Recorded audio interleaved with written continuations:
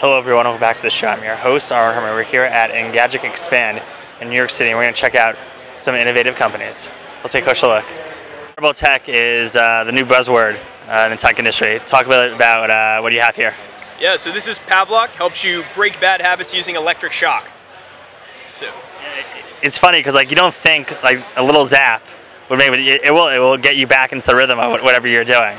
Oh yeah, for sure. So most of the wearables out there for fitness, all they do is track. So they track your sleep, your steps, your heart rate, perspiration, temperature. But all they do is track. They'll give you a report at the end of the day. But nothing is stepping in to change the behavior. Nothing's saying, get off this website right now and giving you that awareness that you're doing a bad action. So that's that's what we aim to do, help people break their bad habits. So talk about the, tech behind uh, the product. Yeah, so we have a, a beep, vibrate, and shock.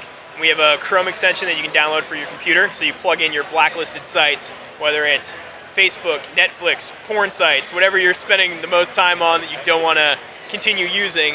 You can plug those in, then every time the page loads, you can get shocked. Or uh, another use case is going to the gym. So using the geolocating your phone, you can see if you made it to the gym that day. If you didn't, it can post to Facebook to let all your friends know you didn't work out, can charge you a cash penalty and distribute it amongst your friends who did make it to the gym, or it can send you the classic shock to the wrist.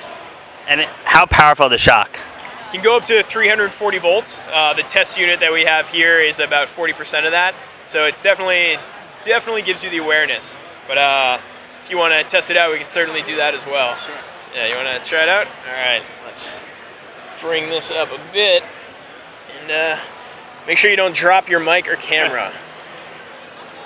Yeah, oh, get it? definitely feel the pulse. A little bit of a hello. So it's yeah, more about the yeah. awareness than the actual yeah. pain of it. Because right. um, so many people don't mean to go on Facebook. They just sit down at their computer and type it in, and then they're just on Facebook without even realizing it. So giving that like instantaneous feedback and letting you know that you should not be doing that and breaking it like that. And what does this retail for? It's going to be 149 at the conference, retailing for 249, and we're uh, taking pre-orders, shipping in April. And where can people learn more about your company? And find us on pavlok.com, which is P-A-V-L-O-K.com. And our Indiegogo page is pavlok.com slash IGG.